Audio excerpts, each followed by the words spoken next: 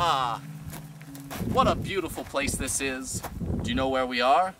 This scenic landscape is the wilderness.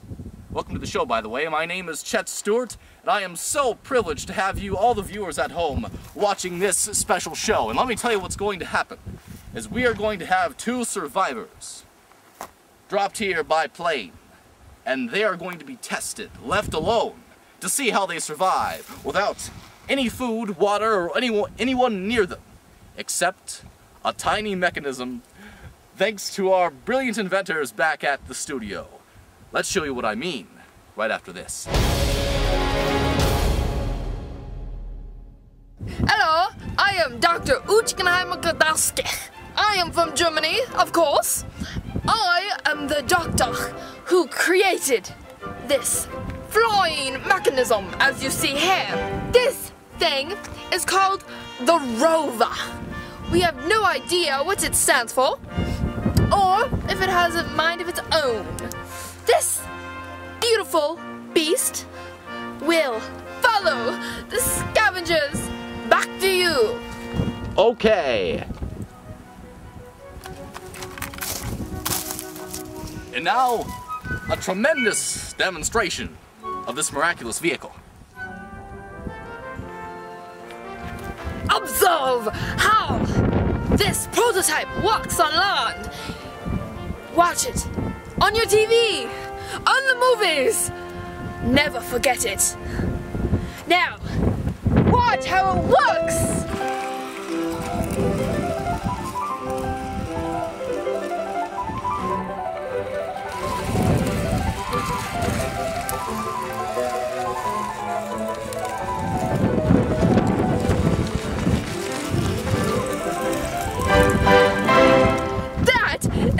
Works on land.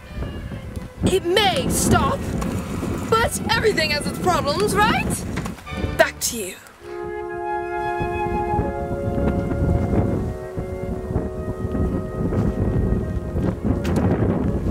Why, it is beautiful out here.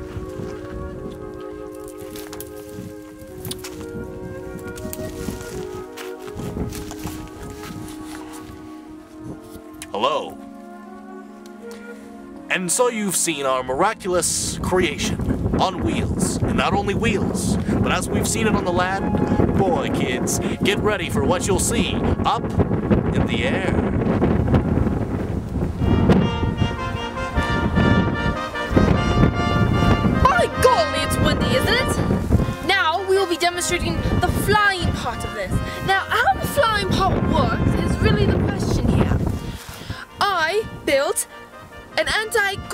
Field around this thing.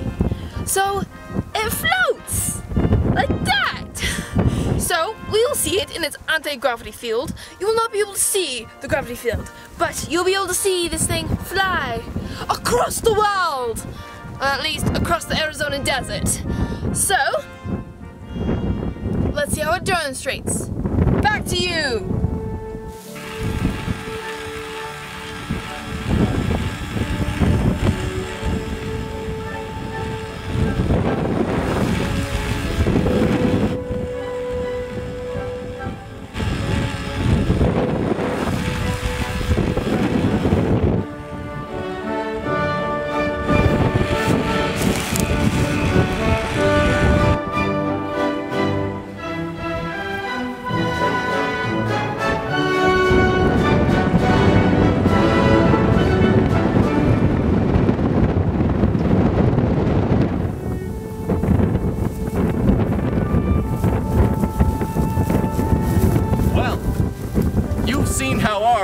Remarkable invention works. My goodness, I used to build stuff like that in my teen years. But you're going to see something so magnificent, and that is the contraption in action.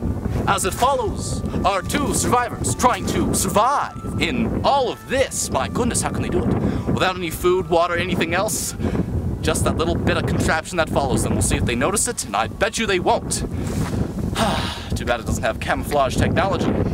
This is going to be something else. So, without further ado, let us introduce you to the survivors. Or will they die? They die? This is Zalandra Borealis Smith, a former Olympic athlete, not only with great athletical skill, but with great intelligence and cunning that will surely make her a survivor. But the question is, will she survive? This is Freddy Squander. He is a former chicken herder. But then, one day, he inherited his grandfather's lottery ticket. Then decided to travel the world. He thinks he knows everything. The question is, does he? Does he not? Will he survive?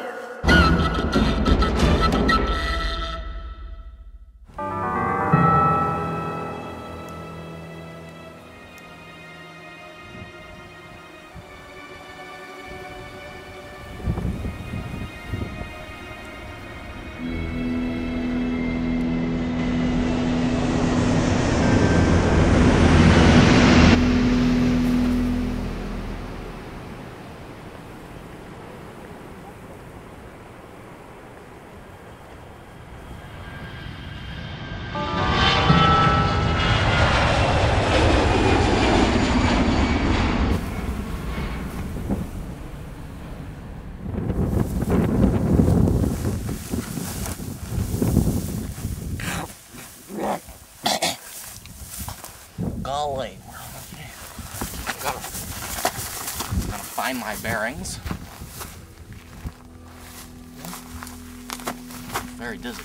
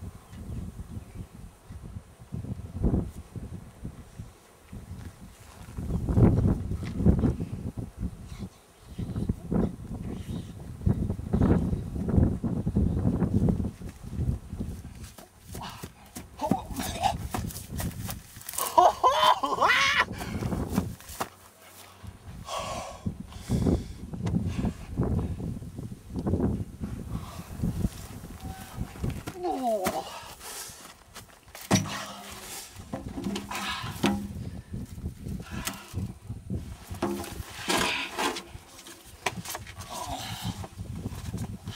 like there's gonna be a full moon tonight. Let's see if we can get some water. Oh. Oh.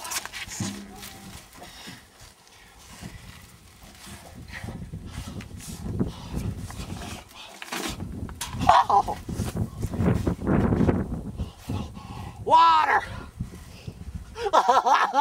Got. Oh, yes! Oh, you, Lord Jesus! Oh.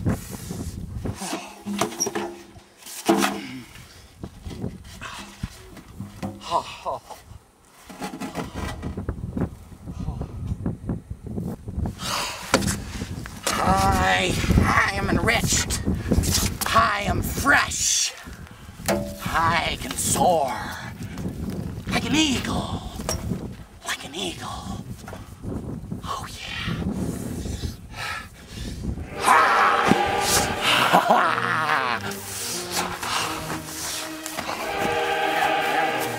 I'm gonna soar in the sky like a beautiful bird in the sky. Oh yes, oh yes I shall. Shall. Today, onwards and upwards. Woohoo! Oh yes! Oh yahoo!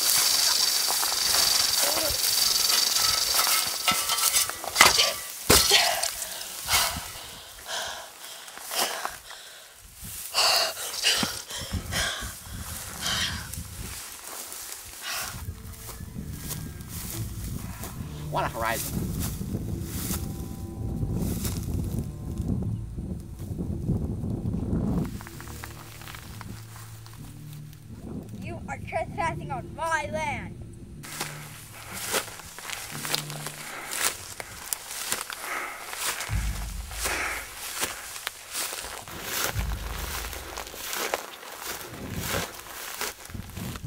I am Chief Kamehameha. You have been trespassing on my land. The penalty for this is death. Keep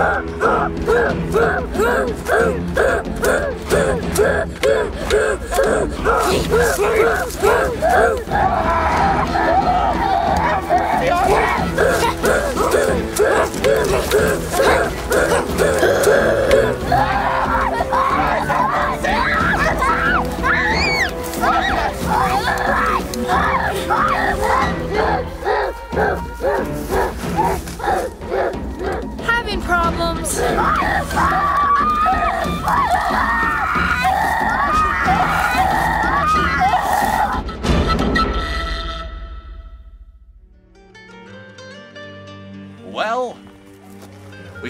Results of that little episode. The question is, who will survive next on Who Will Survive?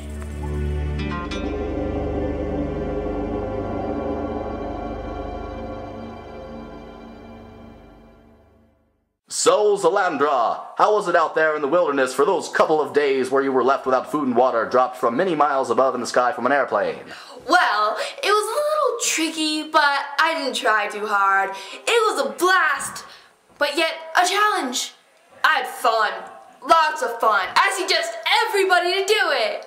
You know, playing back the footage, I gotta say, I was real impressed when you were beating the crud out of that snake, you know? You saw that snake creeping up around you. What'd you, what'd you feel right then in that moment? I felt scared, but at the same time relieved when I snapped it in half and then had a little snack after. Oh my. So, Freddy, what was it like in the amazing wilderness? Um, so, you know, it's it's just. Uh, It was tasty, just like chicken. So, the other guy, Freddy Squander, what'd you make of that guy when you finally saw his footage? Interesting. Um, he he did well, I think. Uh, Were you surprised when you found out you won? mm, no. It was uh, a, a terrifying experience. Just absolutely terrifying. You know, I was there for the big bucks, right? Uh, I couldn't, you know, I traveled the world as I inherited my grandfather's lottery ticket, and I saw things that you've never seen before, quite frankly.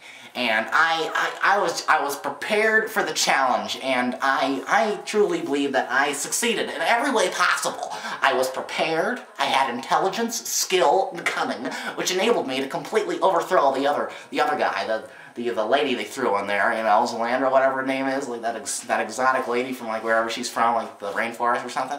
For the next contestants on our terrible syndicated show, what is your advice?